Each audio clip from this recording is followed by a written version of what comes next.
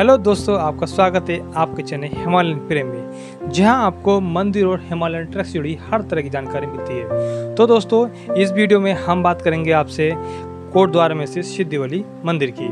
दोस्तों, ये मंदिर बहुत फ़ेमस है और यहाँ पे बहुत दूर दूर से लोग दर्शन करने के लिए आते हैं। कहते हैं, ये बालाजी का मंदिर है और कहते हैं यहाँ पे, एक बार किसी ने अगर मन्नत मांग ली तो वो कभी खाली हाथ यहाँ से नहीं जाता, उसकी मन्नत ज़रूर पूरी होती है। तो दोस्तों, हम इस मंदिर के बारे में आपको पूरी जानकारी देंगे। तो दोस्तों, आगे बढ़ते हैं।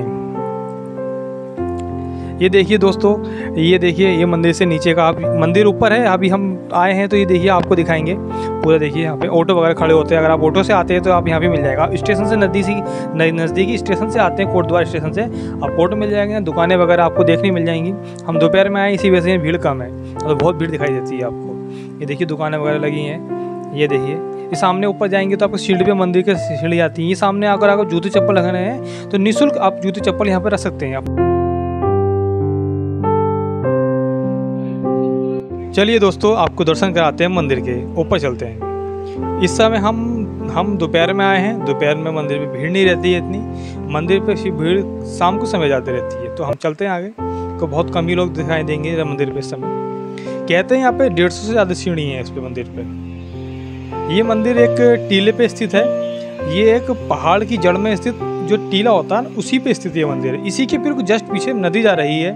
उस नदी का नाम तो मुझे पता नहीं है। अगर आपको पता हो तो आप कमेंट सेक्शन में बता सकते हैं। कौन सी नदी है? राइट में जाएँगे तो राइट में आपको कैंटीन मिल जाएगी। और सीधे जाएँगे तो आपको सिद्धिवली मंदिर पे जाता है, सीधा रास्ता। हम सीधे जाएँगे मंदिर की तरफ़। हम जा रहे हैं सीधे।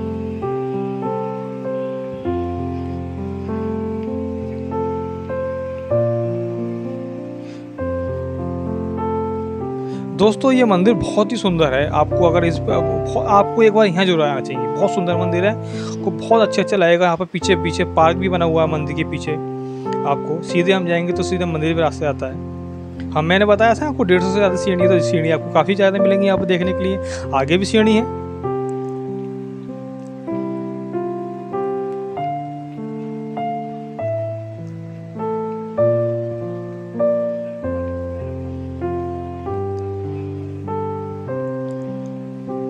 सीधे जाएँगे पूरा मंदिर पे जाकर आपको मिल जाएगा। इससे ऊपर सीढ़ी नहीं मिलेंगी आपको सीधे मंदिर का पूरा एक कॉरिडोर है ऊपर जाके, उसी में मंदिर स्थित आगे जाके।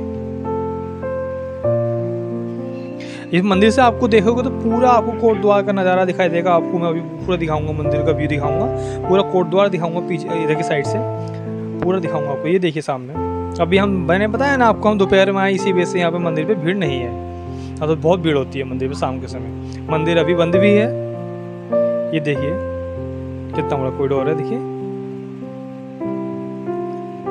कितनी हरियाली है, देखिए सामने, देखिए। ये देखिए, नीचे नदी नदी बह रही है।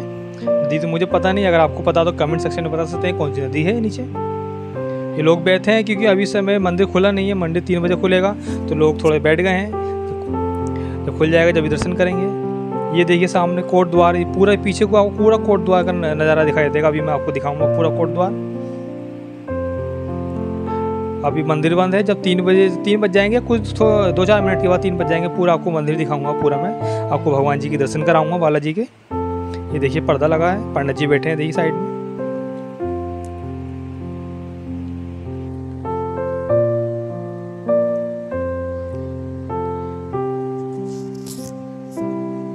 ये देखिए, पूरा को आपको यहाँ कोट द्वारा दिखाई दे जाएगा इधर को। ये देखिए, ये पीछे पार्क बना हुआ आगे की साइड में इसका। यहाँ पे आप बैठ सकते हैं।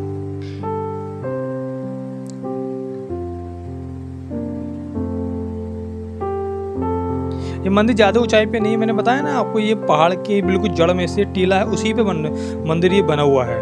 बिल्कुल। ये सामने देखिए, आपको पूरा व्यू दिखाएँगे तो कोट द्वार दिखाई देगा पूरा आपको। हम मानसून में आए, इसी वजह से यहाँ पे हरियाली ज़्यादा नज़र आ रही है आपको पहाड़ों पे।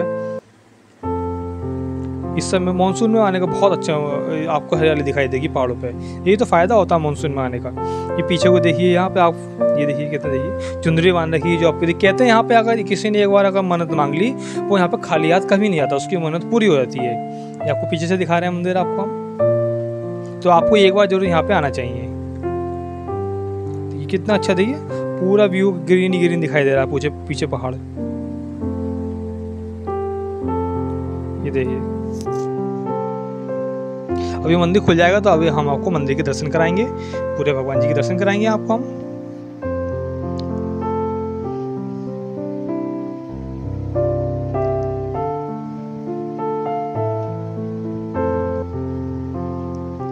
अभी मंदिर बंद है तो इस चक्कर में हमने सोचा था कि थोड़ा वीडियो वगैरह शूट कर लेते हैं। थोड़ी भीड़ भी नहीं है समय लोग बैठे हैं अभी जो भक्त लोग आए हैं।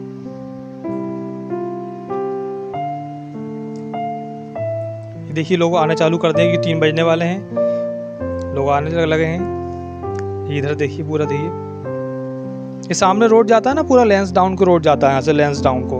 आपको लेंस डाउन, तारकेश्वर, महादेव, अब वहाँ से आ सकते हैं आप लोग। मंदिर खुल चुका है, हम मंदिर के आपको दर्शन कराते हैं। चलिए।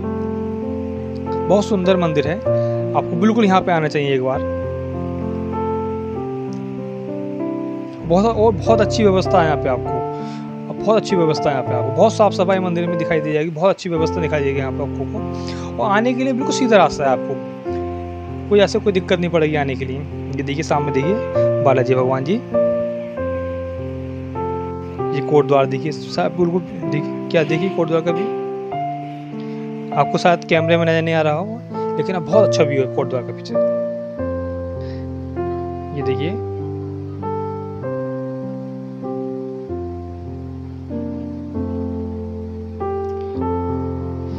सामने बालाजी मंदिर है।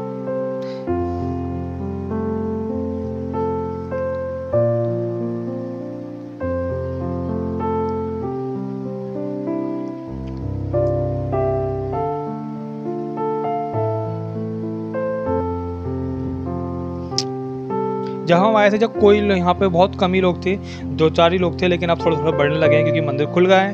अब शाम के समय बढ़ते हैं मंदिर मतलब भक्त लोग आते हैं तो अब यहाँ पे वो आपको गैदरिंग ज़्यादा दिखाई दे जाएगी, आपको शाम के समय। मैं आपको आपको देखो, आपको दिखाता हूँ, भगवान जी दिखाता हूँ आपको।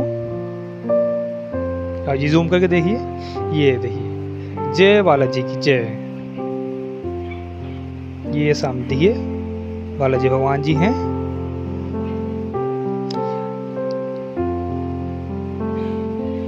देखिए। कितने सुंदर दिखाई दे रहे हैं। यहाँ पे फ़ोटो खींचने के लिए मना नहीं है फ़ोटो खींच सकते हैं यहाँ पे। कोई दिक्कत नहीं है, यहाँ पे आपको कोई मना नहीं करता फ़ोटो खींचने के लिए।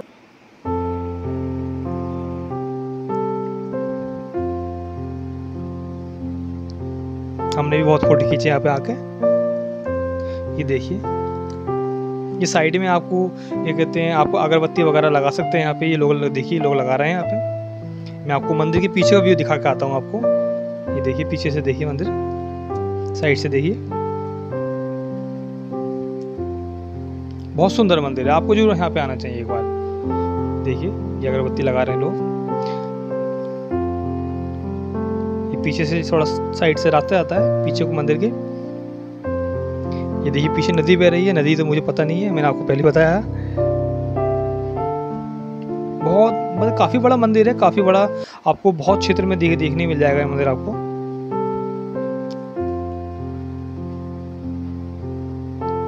ये देखिए।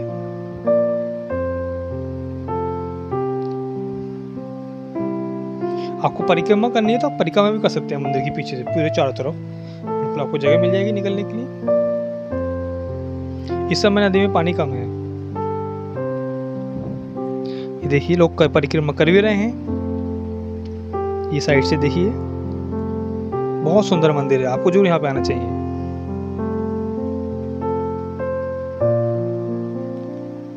अगर आप दिल्ली वगैरह के नज़दीकी रहते हैं तो आपको बिल्कुल वनडे में आप यहाँ पे टूट कर सकते हैं आपको आप नीचे जा रहे हैं, आप दूसरी तरफ़ दूसरा मंदिर दिखाएँगे आपको नीचे जाके आप। एक जाके देखिए। ये देखिए कितना, देखिए, ये देखिए मंदिर का व्यू देखिए। ये सामने ग्रीन ही ग्रीन दिखाई देगा आपको। हम मंदिर की तरफ़ चलते हैं, दूसरे मंदिर की तरफ़ चलते हैं। यहाँ भी आप प्रसाद चढ़ा सकते हैं।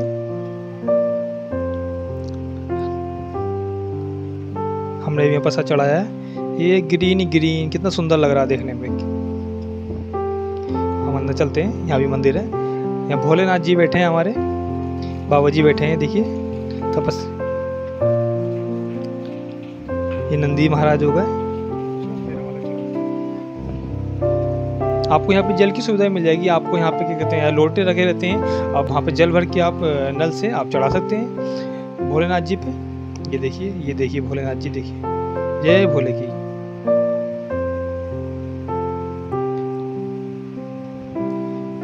कितना सुंदर लग रहा है। देखिए, आपको ज़रूर आना चाहिए यहाँ पे एक बार। बहुत सुंदर है, बहुत मनमोहक दृश्य है। आप देखेंगे तो आपको आगे, ये नंदी महाराज जी, देखिए कान में। कहते हैं, नंदी महाराज जी के कान में कुछ कह दिया, एक बार तो वो ज़रूर आपकी पूरी मन्नत ज़रूर पूरी होती है। इनका कनेक्शन सीधा भोलेनाथ जी से होता है। ऐसी मान्यता है। ये देखिए, जल चढ़ा रहे हैं। आप यहाँ से जल भर सकते हैं टंकी में से। आप यहाँ से जाके आप चढ़ा सकते हैं। हमने भी चढ़ाया है जल।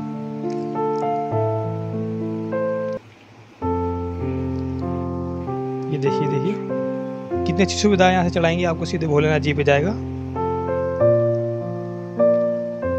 बहुत अच्छा मंदिर है, आप तो यहाँ पे आना चाहिए।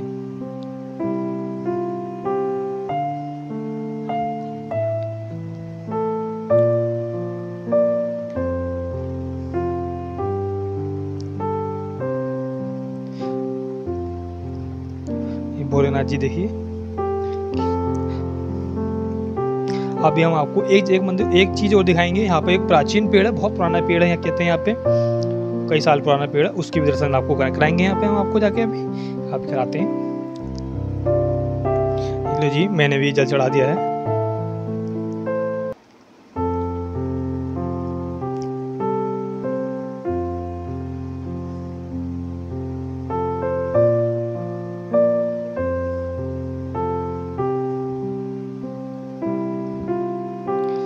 भी आगे चलते हैं।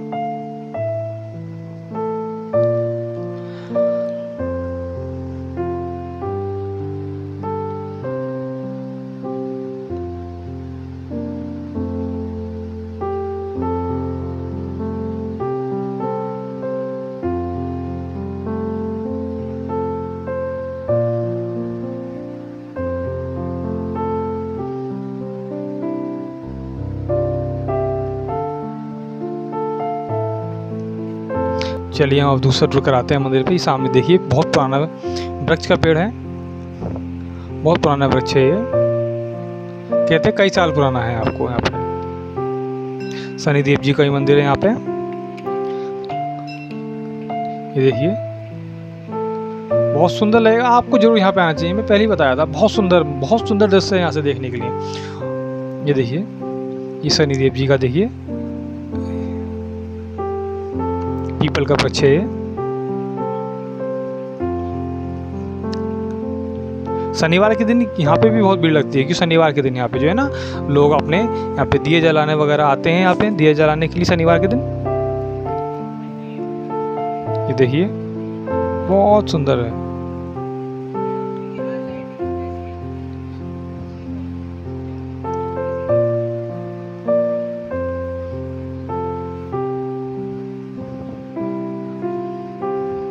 दोस्तों एक एक बात यहाँ पे भी है कि यहाँ पे रोज़ भंडारे होते हैं। अगर आप टाइम से आएँगे तो आपको यहाँ पे भगवान जी का भंडारा भी खाने मिलेगा। आपको दोपहर से पहले अगर आप दोपहर से पहले आ जाते हैं तो आपको भंडारा खाने मिल जाएगा यहाँ पे। ये रोज जो कि रोज डेली चलता है यहाँ पे। तो दोस्तों, मेरे द्वारा बताई गई जानकारी अगर आपको अच्छी लगी हो तो हमारे चैनल को सब्सक्राइब करें, लाइक करें, शेयर करें। धन्यवाद